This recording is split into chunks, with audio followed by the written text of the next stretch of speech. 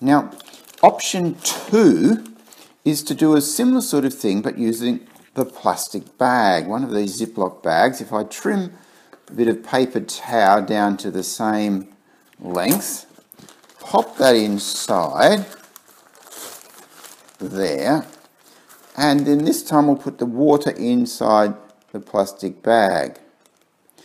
Again, we notice that action called capillary action as it seeps up, but you can make it a little bit faster by letting it spread out if you like. And with a few of your seeds, you might want to put two or three in.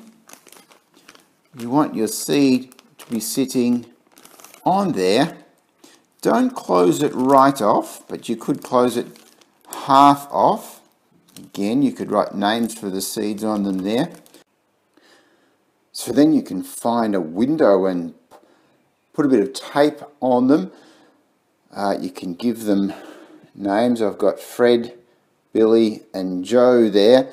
Uh, a little bit of tape to say what the start date is too is a good idea. And then you can watch them grow. I wouldn't put them in a window where you get too much direct sun because that might overcook them. But also keep a check on the water. If they run out of water and that paper becomes dry, you'll probably find the plant starts drying up and dying as well.